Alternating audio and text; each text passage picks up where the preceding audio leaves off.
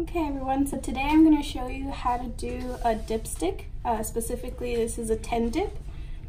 So first you have to grab your specimen, which I have it here. Verify that you have the correct patient, which I do. I'm going to open this up and I'm going to grab one of the dipsticks.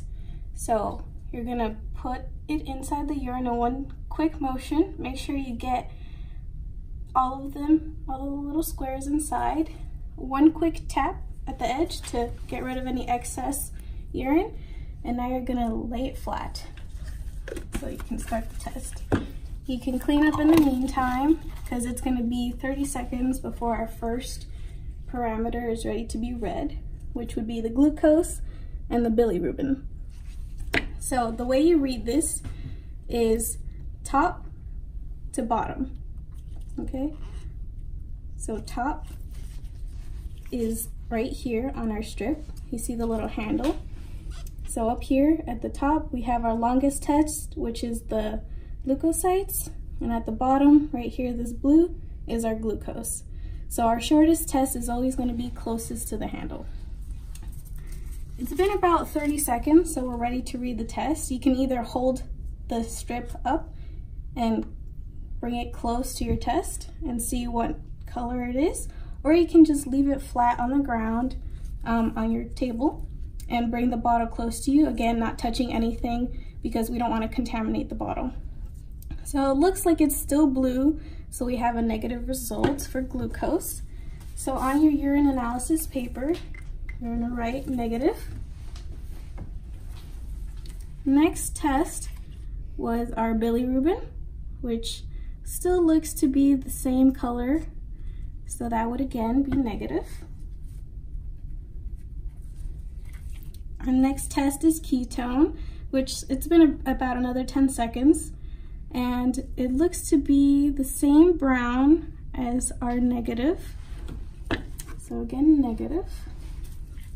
Now for our specific gravity is 45 seconds. And this one, one, two, three, four, looks to be about this green color, uh, this dark green.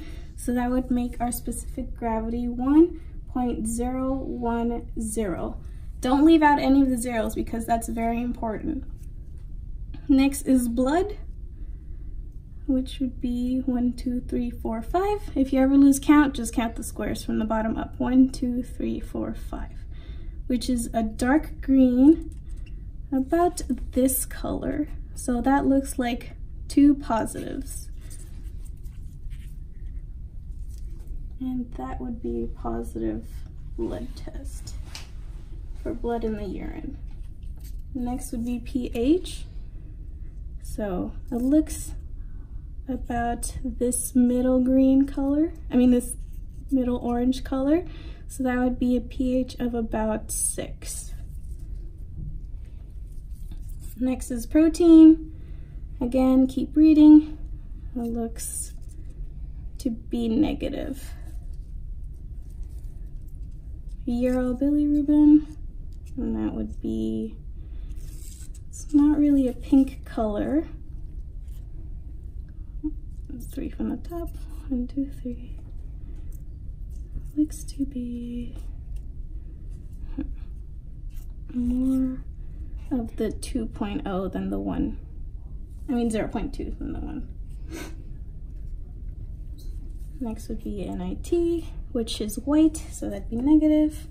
And finally, leukocytes is white, so again, negative. So that's how you would fill out a paper for your analysis.